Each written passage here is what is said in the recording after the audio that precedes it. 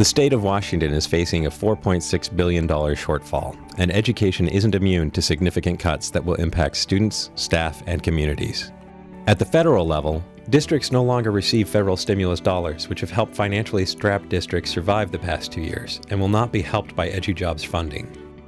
State support for education is being diminished greatly in the current year and through the next two year funding cycle.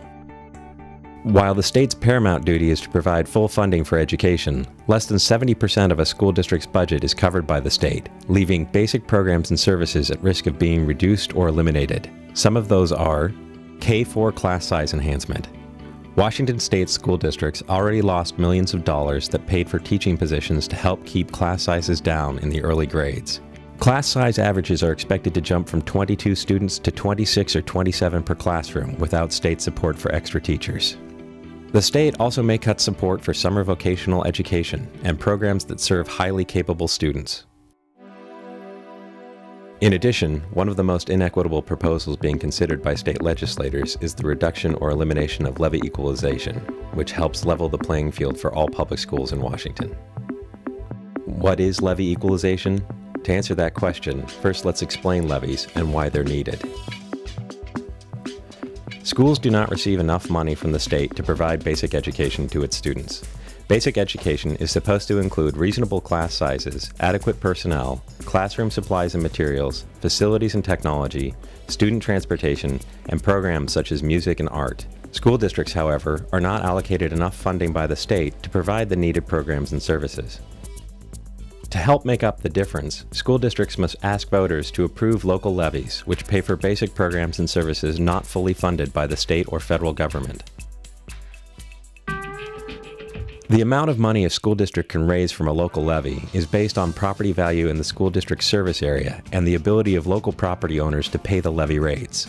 In a community such as Seattle, the total personal and industry property value is high when compared to a community such as Vancouver, as a result, the tax impact of raising $1 for a school levy is higher in Vancouver than it is in Seattle. Our taxpayers are paying $3.55, $3.65 a thousand to support that levy, where to pass the same size levy in Bellevue, their taxpayers may be paying 65 or 70 cents a thousand, simply because Microsoft is paying the rest of that bill. Meet Clay and Ashley. Clay lives in Seattle in a property-rich district with the ability to collect taxes from major businesses.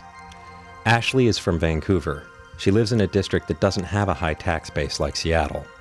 Although both students live in the state of Washington and attend their local public school, they will not receive the same educational benefit if legislation passes to reduce or eliminate levy equalization.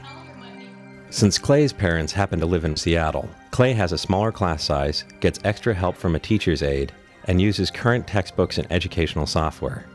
He's also learning a second language and taking art and music classes. Ashley lives in Vancouver and might not be so lucky. Every student in Washington state deserves a quality education, regardless of zip code.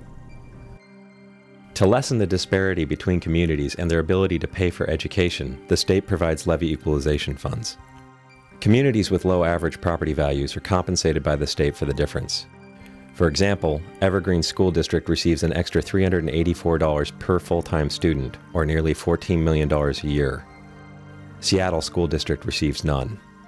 We're the third largest receiver of levy equalization in the state. Levy equalization by itself in our system at, at $14 million, that pencils out to be over 100 teachers. That's three or four or five more kids per classroom is what that amounts to. The state, faced with a $4.6 billion shortfall for 2011 to 13, proposes to make drastic cuts in many state programs, including levy equalization. If schools lose levy equalization funds, the gap between the property-rich and property-poor school districts will widen, and a larger share of the state's responsibility to pay for its public schools will fall on local communities. Shifting that responsibility to the local taxpayer creates an undue burden to those property owners who can least afford to make up that difference. The state's $4.6 billion budget shortfall is causing our governor and our legislators to make difficult decisions. But they do have options. As our elected leaders tackle the deficit, they can ensure that cuts affecting our children are shared proportionately across the 295 school districts. Unfair funding solutions could mean a lifetime of lost opportunities. For more information about school funding and the challenges that face our districts, please contact your local school district.